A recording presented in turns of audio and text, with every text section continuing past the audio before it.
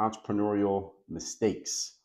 21 mistakes that entrepreneurs consistently make in your businesses. I'm going to be covering them over the next seven episodes, and today is going to be part one of that. Before we get started, I remind everybody that I send out a text message every single day, guaranteed to have you focused, sharp, and on point. I call it the daily motivation. You can receive that message by simply dropping into my text community. All you got to do is text me at my number, which is 305 384 6894. Once you're in there, you also have will have the opportunity to get my Monday motivation text, which I send out every Monday, and that'll be for to help you out for your week.